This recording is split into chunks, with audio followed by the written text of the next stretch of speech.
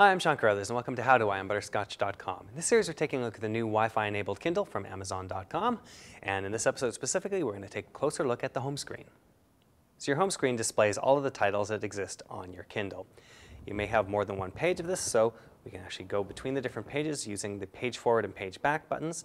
So page forward will take you to the next, page back will actually take you to the previous page. You'll notice each title also has a number of dots under. This indicates the relative length of the book. So Spook Country is actually a fairly short book. War for Late Night is a little bit more medium, where these Neal Stephenson ones are quite long.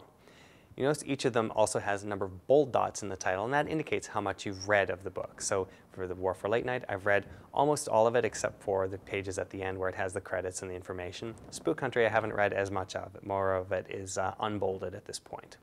You also notice at the top of the display we have a list of a bit of information here. So we have the name of the Kindle in question. So if you have more than one Kindle, you can manage them accordingly.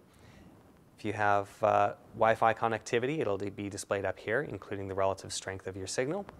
We have a battery icon over here that shows you how much charge you have left in it, so it'll indicate how long you have until you have to plug it in again.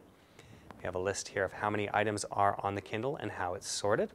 If you want to change how it's sorted, you can actually scroll up to that item and then head over to the right and it'll show you various options for sorting this. So we want to sort by most recent first, so the last thing that we used will appear at the top now instead of somewhere down below.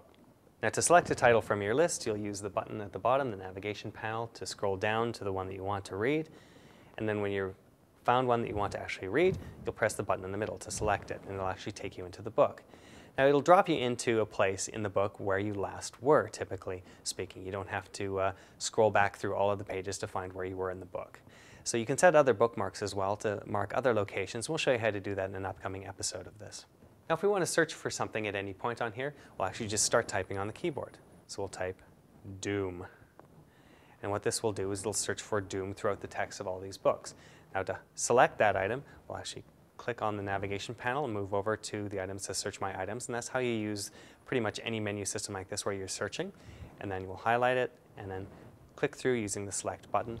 That'll bring up a list of all the titles where the word Doom appears inside the text. So we'll notice that up at the top we've got the system of the world. The word Doom appears in here 17 times. We can also go up to the top before and sort, sort by relevance as it is right now, or we can check by title or author, and it'll sort alphabetically by title if we choose titles. Now black order, which is the first in the alphabet, will appear at the top. And again, at any point to cancel out of this, we'll hit home, and it'll take us back to our home screen.